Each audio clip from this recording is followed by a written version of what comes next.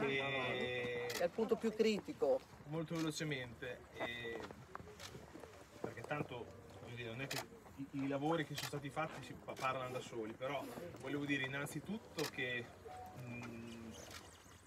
visto che di problemi ce ne sono ancora tanti, sono molto contento che almeno questo qui sia un problema che abbiamo, abbiamo risolto. E quindi voglio ringraziare tutti quanti quelli che hanno contribuito a risolverlo, per cui qui davanti a me ci siete voi del comitato che oh, logicamente avete dato una grande mano perché indubbiamente la, la spinta che avete, come posso dire, impresso voi è servita quindi vi ringrazio anche perché siete, siete stati, siete un comitato che oggettivamente si è mosso per risolvere i problemi e non per creare delle polemiche o per, eh, come posso dire, per rendere più difficili le cose. E questa è una cosa molto positiva perché eh, positivamente eh, dobbiamo collaborare tutti insieme e quindi da parte vostra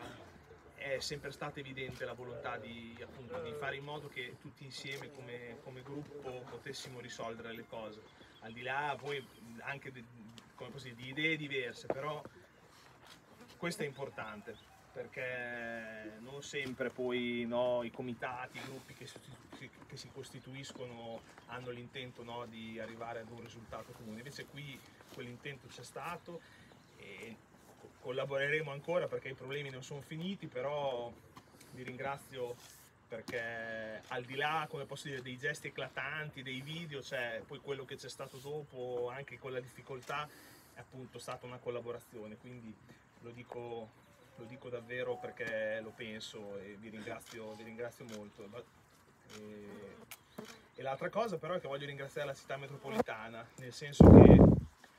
e ci siamo mossi magari con un po' di ritardo, e- però oggettivamente secondo me questo lavoro è la dimostrazione che poi la volontà di, di fare le cose, di risolvere le cose c'era perché sembrava che dovessimo fare inizialmente un lavoro da qualche centinaio di migliaia di euro mh, temporaneo giusto per provare a bypassare no, quello che c'era. La sostanza è che invece poi la città ha investito davvero tanto ed è venuto fuori secondo me un progetto che va oltre le aspettative che avevamo all'inizio e in generale tutto l'intervento sulla provinciale penso che sia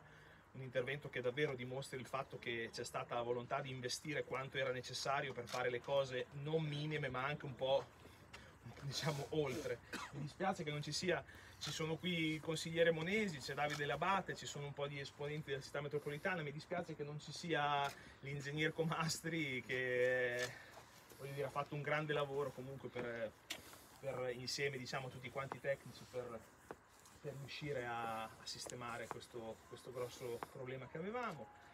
E ringrazio anche Marco Panieri che è qui con noi, che è vice sindaco metropolitano e sicuramente ci ha dato un, aiuto. Il fatto che il sindaco di Imola si sia comunque preso a cuore eh, la questione della provinciale 33 e non so, io